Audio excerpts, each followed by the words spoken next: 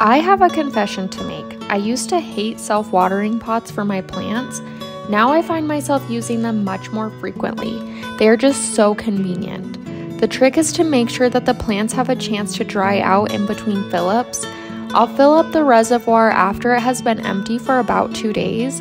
I also make sure to use a chunky soil mixture.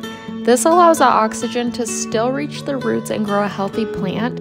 And wow, how great does this philodendron birkin look in this pot?